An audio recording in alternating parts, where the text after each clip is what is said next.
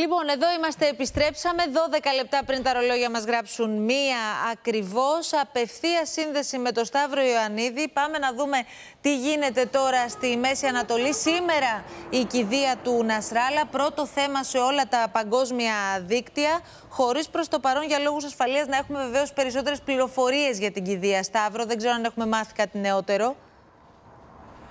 Πράγματι, ε, επικρατεί μια σάφια γύρω από το πού θα γίνει, τι ώρα θα γίνει. Υπάρχουν ε, συγκεχημένες πληροφορίες. Ε, τα περισσότερα αραβικά μέσα αναφέρουν ότι και η κηδεία και η ταφή θα γίνουν στο Λίβανο. Υπάρχουν κάποια Ιρακινά μέσα που λένε ότι η ταφή θα πραγματοποιηθεί στο Ιράκ, στην πόλη Καρμπάλα. Α, καταλαβαίνουμε βεβαίως πως δεν θα δοθούν συγκεκριμένες πληροφορίες, προς το παρόν τουλάχιστον για λόγους ασφαλείας σίγουρα τα βλέμματα όλων είναι στραμμένα εκεί, αλλά και στην διαδοχή του Χασάν Νασράλα, με τις ε, πληροφορίες να λένε πως ε, ο μέχρι πρότινος νούμερο 2 της ε, οργάνωσης, ο Χασέμ Σαφιεντίν, θα είναι ο διάδοχος, ο νέος ηγέτης της Χεσμολά.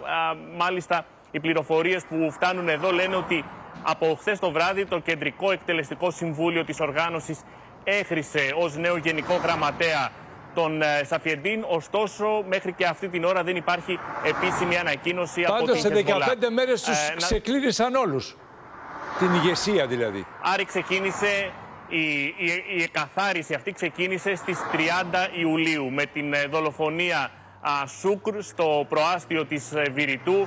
Από εκεί και πέρα είδαμε την ηγητική πυραμίδα της Χεσμολά να εξουδετερώνεται έναν προς έναν τους διοικητές, τους ε, έπληξαν με αεροπορικά μέσα κυρίως, αλλά και βεβαίως με αυτή την ε, επίθεση την υβριδική με τους ε, βομβιτές, ώσπου την Παρασκευή έφτασαν στον Χασάν Νασράλα, στην κορυφή της ηγετικής πυραμίδας της Χεσμολά. Όμως αυτό που δείχνει η οργάνωση είναι πως έχει ανθεκτικότητα δεν είναι άλλωστε η πρώτη φορά που ο ηγέτης της εξουδετερώνεται. Είχε συμβεί και στο παρελθόν βεβαίως πριν από 30 και πλέον έχει χρόνια. Έχει δημιουργηθεί πια ένα εντελώς διαφορετικό σκηνικό και το ερώτημα όπως ε, άκουγα που το βάζουν και σε όλα τα διεθνή δίκτυα αναλυτές δεν είναι το πια πού θα σταματήσει το Ισραήλ αλλά πώς, πότε και με ποιο τρόπο θα αντιδράσει το Ιράν όπου εκεί θα μιλάμε για κάτι πια εντελώς διαφορετικό. Ε, η αλήθεια είναι πως ε, σίγουρα ε, όλοι περιμένουν να δουν ποια θα είναι η αντίδραση της Τεχεράνης. Μην ξεχνάμε όμως ότι τα μηνύματα που στέλνουν οι Ισραηλινοί Μπορεί να αντιδράσει, ας πούμε, ημέρες... αν μπορείς να το συμπεριλάβεις και αυτό. αυτό δηλαδή, εκεί ήθελα να μπορεί να αντιδράσει, διότι ότι... εγώ βλέπω το Ισραήλ να χτυπάει και τους Χούθη. Δηλαδή στέλνει η Ευρώπη σκάφη... Ε, πολεμικά για να σταματήσει, γιατί αυτοί έχουν παραβιάσει το εμπόριο, το θαλάσσιο εμπόριο και την αυτιλία. Αλλά τη δουλειά την κάνει το Ισραήλ τελικά. Ναι. Τη σοβαρή δουλειά εννοώ. Αυτό Εκεί ήθελα να καταλήξω και εγώ για να σας πω ότι φαίνεται ότι ε, χθες πραγματοποίησαν αυτή την επιχείρηση με σχετική ευκολία 1800 χιλιόμετρα μακριά από τις βάσεις τους στα Ισραηλινά μαχητικά.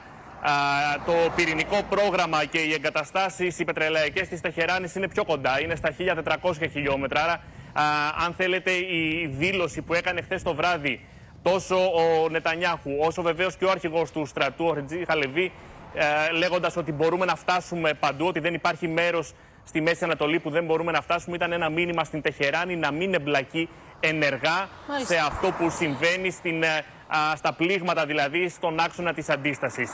Ε, λοιπόν. υπάρχει βεβαίως σε εκκρεμότητα η απάντηση της Χεσμολά. Θα δούμε πότε και με ποιον τρόπο θα εκδηλωθεί.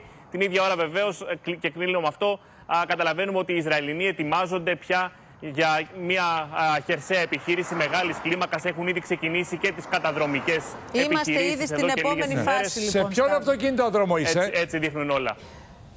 Α, είμαι στον αυτοκινητόδρομο 90. Είναι ο δρόμος που οδηγεί στα σύνορα με τον Λίβανο. Μια ευθεία ουσιαστικά. Δεν ξέρω αν μπορείτε να διακρίνετε τα υψώματα στο βάθος. Είναι Λίβανος. Είμαστε πολύ κοντά στα σύνορα. Ακούμε τις εκρήξεις από τις επιχειρήσεις της Ισραηλινής αεροπορίας.